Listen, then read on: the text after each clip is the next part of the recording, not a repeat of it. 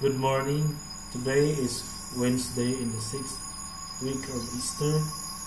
And for today's gospel is from the Gospel of St. John chapter 16 verses 12 15.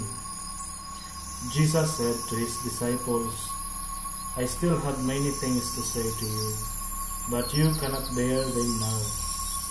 When the Spirit of truth comes, he will guide you into all truth for he will not speak on his own, but will speak whatever he hears, and he will declare to you the things that are to come. He will glorify me, because he will take what is mine and declare it to you. All that the Father has is mine. For this reason, I said that he will take what is mine and declare it to you. My dear brothers and sisters, the gospel of the Lord.